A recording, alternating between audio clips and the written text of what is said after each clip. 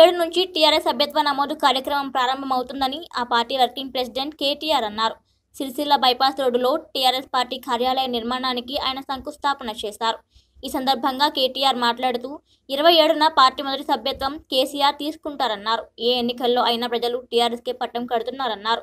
Booth committee నుంచి రాష్ట్ర committee వరకు పటిష్టంగా పార్టీ నిర్మాణం జరగాలన్నారు. పదిహేను నుంచి నెల రోజుల పాటు సభ్యత్వ నమోదు కార్యక్రమం జరగాలన్నారు. సభ్యత్వ నమోదు పూర్తయిన తరువాత శిక్షణా కార్యక్రమాలు ఉంటాయని వివరించారు.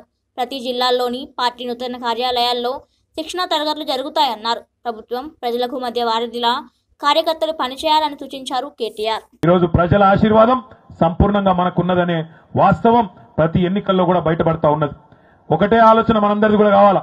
కేసీఆర్ లాంటి నాయకుడు ఉన్నంత కాలం టీఆర్ఎస్ అనే పార్టీ ఉన్నంత కాలం తెలంగాణకు టీఆర్ఎస్ఏ శ్రీరామ రక్ష అనే మాట గ్రామ గ్రామాన ప్రతి గడపకు ప్రతి గుండెకు తీసుకుపోవాల్సిన బాధ్యత మన మీద ఉన్నది. ఎందుకంటే తెలంగాణ ప్రయోజనాలను కాపాడే విషయంలో రాజీ లేని పోరాటం చేయడంలో కేంద్ర ప్రభుత్వంతో కాదు ఏ రాజకీయ పార్టీతో కాదు అవసరమైతే దేవుడితో తలపడడానికి కూడా వెనుకాడని నాయకుడు మన నాయకుడు కేసీఆర్ గారనే మాట ఈ సందర్భంగా నేను మీకు విజ్ఞప్తి చేస్తా ఉన్నా.